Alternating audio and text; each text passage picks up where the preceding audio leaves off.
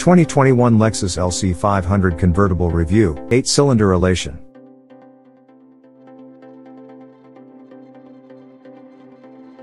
But before we start, please support us by pressing the like and subscribe buttons, so that we can continue to provide information about car and motorcycle news. Also turn on the bell button to get the latest updates. Your support means a lot to us. Thank you.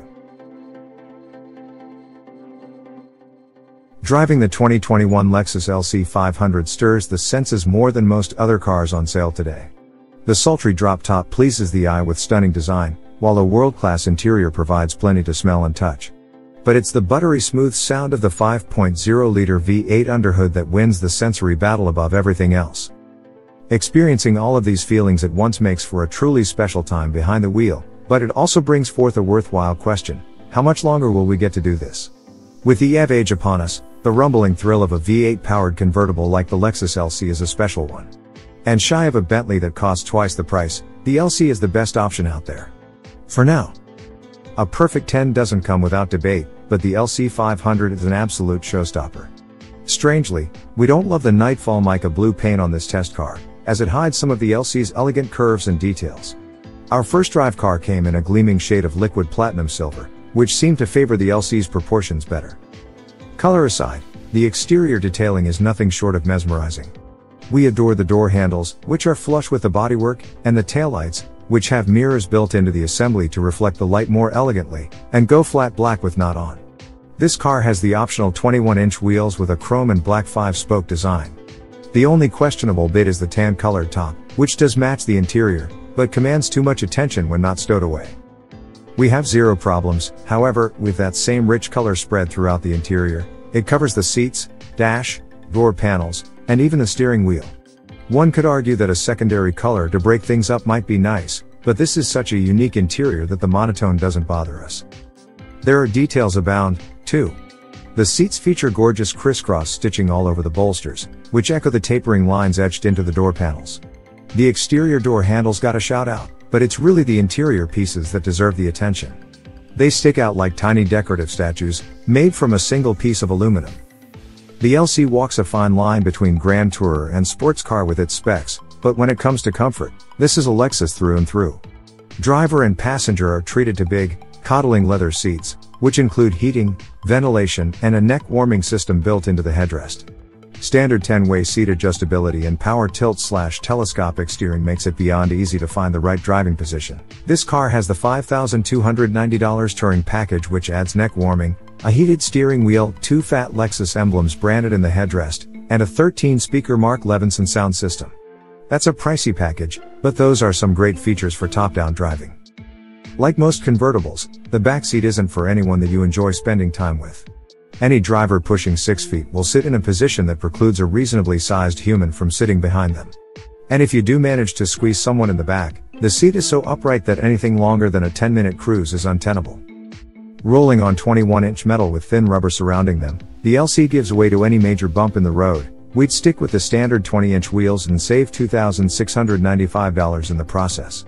Enormous potholes aside, the ride quality is otherwise very smooth with little commotion during our extensive road test.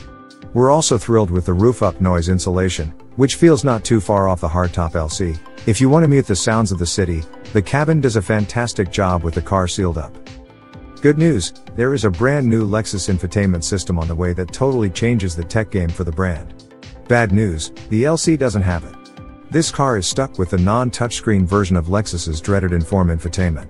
The setup includes a 10.3-inch center display paired with a flat trackpad for scrolling through the many menus and settings.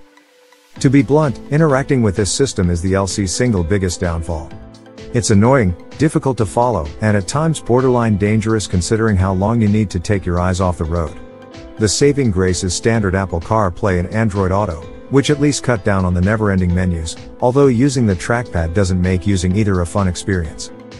There are still a few wins in the tech column. The partially digital instrument cluster remains a fun touch with its blue rev counting needle and different themes for driving modes.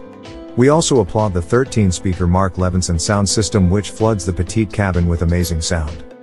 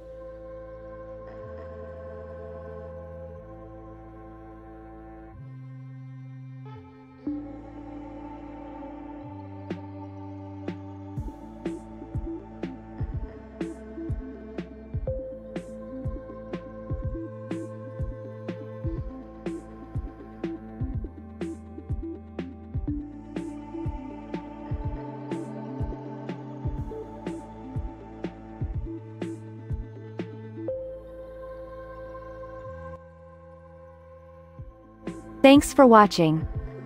Drop a like. Leave a comment. And don't forget to subscribe to watch more videos like this.